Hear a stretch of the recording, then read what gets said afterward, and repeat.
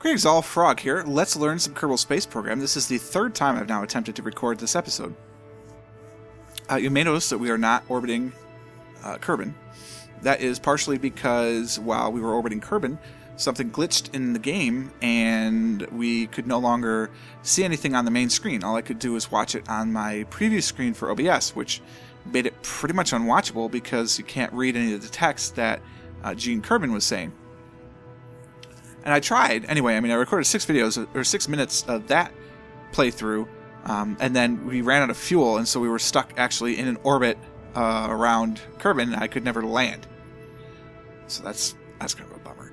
And then I came back in, started over. We decided we're going to do some career mode because uh, I think I've done enough training. The training that's there, other than the fact that I don't know how to land these things, is pretty much for things that we're not going to do for a while. So we might as well just leave them.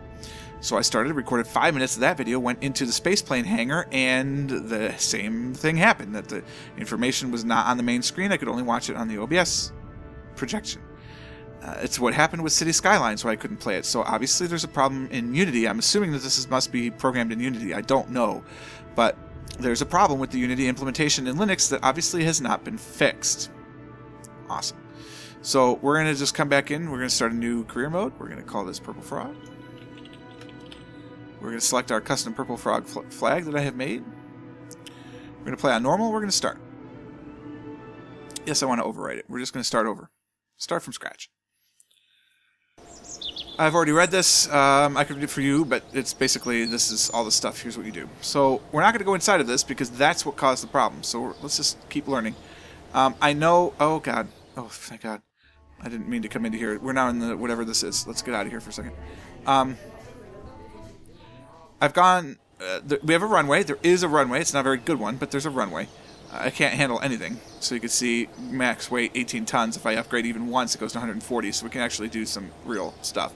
This is the um, uh, spaceplane hangar that when we entered crashed the game. And what is this? This is the astronaut complex. Contains the living and recreation spaces for all our crew members. New applicants are also applied here to be recruited. Okay, that's cool. So capacity is five active Kerbals, um, and you can only disembark on Kerbin. When we upgrade it, then they can perform EVAs, and um, on EVAs can place down flags. And they have 12 active Kerbins, so that's cool. When we get up to 75,000 ducats, because they must be ducats, obviously. This is very tiny. This is the administration building. The administration building may not seem like a very exciting place at first, but here's where all our strategic decisions are made. So we can have one active strategy and 25% max commitment. First upgrade, we can go up to three and then six. Let's try and enter this. And it works. Okay. Um, so we've got Mortimer Kerman. He's an accountant called Mortimer. He doesn't have many friends, but he likes things to be under control and arranged in right angles. This job is pretty stressful for him. Linus Kerman is the science guy. He is Werner von Kerman's intern. Because Werner himself is too important to be bothered with these boring strategy meetings, he sends his intern. Walt Kerman, Walt Kerman is the spokesperson for the space program. He wears a hazmat suit, which isn't strictly required for his job, but it seems appropriate for someone working in such a toxic environment. And Gus Kerman, the operations, is head of space program ops and all around repairs guy whenever something around here breaks down. We hope nothing catches fire while he's here. So I can select stuff as a focus. And I'm guessing this stuff is, is locked because it's dark gray. So leadership initiative takes 5% commitment. We can't afford it. There's too much. Oh, it costs too much money. Okay. So we could research rights, sell out. We could make a quick buck from the science the R&D team has collected by selling exclusive research rights to the highest bidder. Yes, that means we wouldn't be able to make use of that science ourselves, but for exclusive rights, I'm sure we could fetch a pretty penny from some lame agency or conglomerate. Excuse me, large agency or conglomerate. So plus zero funds, but there's a star there. Minus zero science. It's effective immediately. A bailout grant gives us 12,189.326 ducats, and we lose reputation. So we don't want to do any of those. Do patent licensing, all this interesting things. Okay, well, we'll play with that later.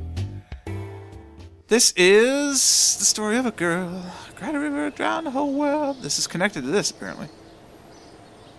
R&D. At the R&D facility, our team of scientists works hard to crunch data received from mission experiments. Here, all researched technologies can be viewed and new ones discovered. Research science limit is 100. On upgrade, we can go to 500. And we can astronaut complex upgrade is required to go for EVA surface samples, and resource transfer would become available when we get up to that level. So that's that's a lot of money.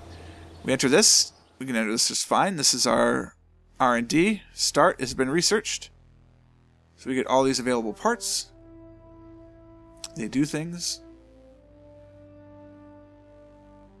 Cool. We could research basic rocketry and engineering, but we can't get there yet.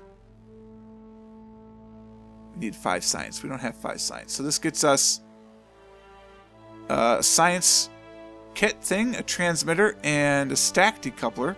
So we can't actually do decouplings until we get that. This is a fuel tank, a solid fuel booster, and a liquid fuel engine. So we can't do anything until we get to there. So we can do solid fuel with this. We can contain mystery goo. Uh, interesting. Says this unit was something one of our engineers came upon while dumpster diver while researching alternative applications for existing technologies. Yes, it's a sealed container which appears to be filled with a strange-looking substance. We couldn't reach in or break the canister open, but watching how the goo behaves when subjected to different situations can be very educational. So we have one of those. We can observe mystery goo. It's uh, collectible data. Can only do it once apparently. Oh, it is resettable. It's just not rerunnable. It's very strange. We got a girder segment, solid fuel booster, a command pod, a fin, and a parachute. That'd be nice if we had. Oh, excuse me. Excuse me. It'd be nice if we had more fuel. But we don't have any science. So we can't science any of this. Technology. Science archives. We have done no science. Thanks, Werner. You're useless to me. Back we go. This is. Not clickable? It is clickable. Tracking station. At the tracking station, all ongoing missions can be viewed and focused. Landed craft can be covered from here as well. Orbits visible on the map. Uh, patched conics visible in the map. I don't even know what that is, but uh, we can we can get that. Let's go in. Uh oh. Oh, it still works. Okay, good. Hi again. This is the tracking station facility. In here, you can view all of the solar system, as well as the current positions and trajectories of all ongoing missions. When you have missions in progress, you'll see them listed on the panel at your left, and you'll be able to take command of them from the screen. Sometimes contracts may require specific destinations in orbit or the surface. Those will also be visible here. Lastly, if you want to see the same map view during flight, just hit the M key. Alright, so it's our flight view. Right. Apparently we have two orbiting bodies, the Mun and Minimus. Minmus. We have Eve, Moho, and Duna as our closest celestial neighbors, and then we get farther out for Dres and Jool, and then an eccentric orbit of Eeloo. This one's slightly eccentric also. And that's it. That's our solar system. That's everything we know right now. Do we know if they have moons? Oh, we don't know anything about them. Okay. Back we go. What's this? Oh, that's all R&D. So this whole little thing is R&D. This whole little thing is tracking. That's the launch facility. The launch pad is where vessels built at the VAB are launched. We are reasonably confident it's a safe enough distance from everything else. Max vessel size 20 meters by 21.2 meters and gross weight of 18 tons. I'm assuming it's gross weight. We can upgrade it to get to 140 tons. We can enter it, but there's really no point. Uh, so here is the vehicle assembly building. It's where spacecraft are designed and built before being moved over to the launch pad for flight. 30 supported parts. We can go up to 255, and basic group actions will be available. R&D, astronauts, that, what's this? Mission Control. At Mission Control Facility, all available contracts can be managed. It also offers a very nice view of the launch sites for those who are brave enough to be so close for launching craft. Contracts of two, now we can go up to seven. And we'd have to have tracking station upgrade to get flight planning. So if we enter... Welcome to Mission Control. Please make a selection. So we can gather scientific data from Kerbin. Oh, so these are things to do. These are just available things. So let's gather scientific data from Kerbin. Okay, gather scientific data from Kerbin. Kerbin World First Record Keeping Society. The chief bookkeeper from the Kerbin World First Record Keeping Society would be the first to admit that they were really stumped by whether we actually didn't have any goal in mind. It's true, though, that the way we would frequently see an unlikely crash landing was how we got into that situation in the first place. Anyway, this is why we're here. Give us a quick crew report before launching. It's fine if any of the lights on the control panel are flashing, just give it a swift kick. Prestige is trivial, expires then. Recover or transmit any science experiment data from Kerbin to achieve this goal. And we get 4,100 ducats. Um, we get 7,600 ducats at completion plus a science 3 prestige. If we fail, we lose 4,400 ducats. Let's do it. I don't know how to do it. Well, there we go. Gather scientific data from Kerbin. Recover or transmit any science experiment from Kerbin. We just have to do science on Kerbin. That's fine. Launch our first vessel. Okay, that's the same thing. We'd like to officially start the space program with a bang, a very controlled bang preferably. Launch your first vessel off the launch pad or runway to achieve this goal. Oh, we don't have to do a vertical launch, we could do a runway launch.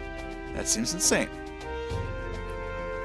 Escape the atmosphere and orbit Kerbin. Alright, so we'll take obviously the two first level easy ones because that's, I'm sure, what we're supposed to do. So let's go back out. We gotta collect some science. R&D. Can you give me some science? That's not what you do. That's not what you do. We need, we need, uh, we need a Kerbin. I've got four available Kerbins. None of them are assigned. Hey, Bob. I'm not gonna fire Bob. Hey, Bob. How do I sign into a mission? Hey, Bob. Bob. I don't know how to interact with them. Oh, high stupidity, high courage. Highly prized. Alright, well, I don't know what to do with that. I'm not going to go in there. That's what crashed the game. Strategy, we're not worrying about. R&D, we're not going into. I want mission control. Mission control. How do I get... How do I do... How do I complete these? I want to do science on Kerbin. How do I do that? Wow. There is no deadline. It's very nice. How do I complete this? I guess we get onto the launch pad and then we go from there. Okay, let's hope we can go into this and not crash the game. Cross your fingers. Awesome. Hello, I am Werner von Kerman, Chief Rocketry Engineer. This is the Vehicle Assembly Building. Here is where we build spacecraft and later roll them onto the launch pad for flight. Pretty impressive, isn't it? Alright, we did all that. Alright. Why can't I move you? I know I've right-clicked and moved this thing before. Maybe it's broken. I don't know. Let's build a spacecraft. We've got a nose. There's my little flaggy. It's awesome. Ah, okay. You need a you need a part before you can start looking around. That makes sense. All right, we'll put you right there. I need a parachute. Is probably a good idea. I have no fuel tanks. I do have a simple engine. While considered by some to be a little more than a trash bin full of boom, the RT-5 can be seen and used at many space programs, perhaps possibly because it's the only option for many space programs. But nevertheless, this small booster provides a nice kick to lift small payloads to considerable heights. Use with caution, though. Once lit, solid fuel motors cannot be put out until the fuel runs out. Let's put a little solid fuel booster underneath that. And control structural. Now girders. It's probably the only way these are going to be able to stay in flight. Um, fins, maybe? Utility uh, parachute, that's pretty good. The Mark 16 parachute might be considered by some to be a little more than a random stitching together of the surplus parts it is, in fact, made from. But the fact remains that the M6, the Mark 16, has been widely accepted as generally better alternatives to being in freefall. That's true. Put a little parachute on there. There we go. Science? Mystery Goo Containment Unit. Okay, let's, let's do a little science. We'll do some science. Where's the door? We'll do science right next to the door. There you go. There's some science. Should we put one on the other side for aerodynamicy? Honestly, don't know. We should probably put fins on it, though, huh? Shouldn't we? Put some fins for stability. Uh, is there a shortcut key for symmetry? There really should be. I like triple triple symmetry. I don't know why it just has that nice look to it. Alright, so the fin is there, so we gotta put it...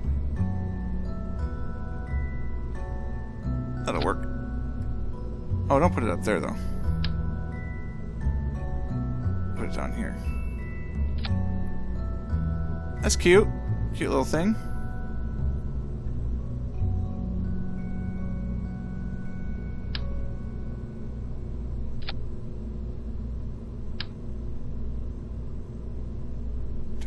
The, uh... Oh, it won't line up. Doesn't matter how you do it. That's just the way it is. So be it. Try to get the flag in the proper positioning. That's okay. And we're gonna need some girders.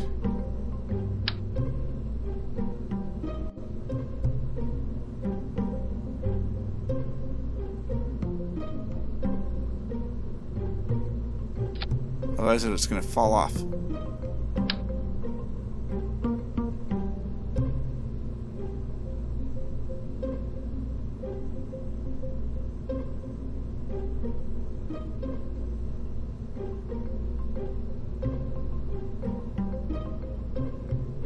Supposed to go? There we go. Cool. There you go. Is that how we launch? Is that what I'm supposed to do? I don't think so. Let's take these off. Let's put those back. Untitled spacecraft. Call it the, um, call it the Tadpole Mark 1.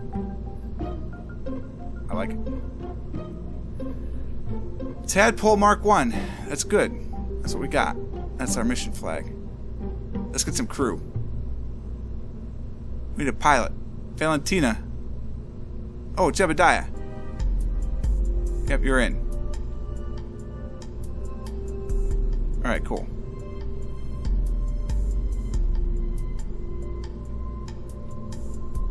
Alright, so Jebediah is in.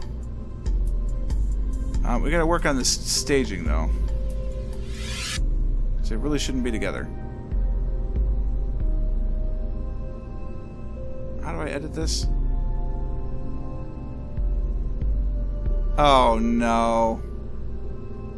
It froze. I just realized that. Because if I look, you see, why am I clicking all these things? It's doing a bunch of stuff. Why aren't you? Because I can't see it. Because my screen is frozen again. So I went into Assign Astronauts, came back out, now I can't see anything except in the preview pane of OBS. So how do I do I make this into a different? There we go. Cool. Get rid of this one. But I think I need it to be in opposite orders, do I not? Pretty sure I do.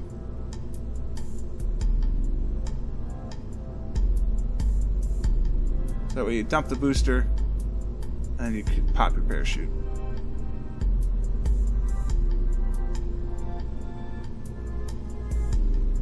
Yeah, I think that's it. So, how do we save this guy? Click save. Okay. What's this? Launch. Load. New. Go to launch.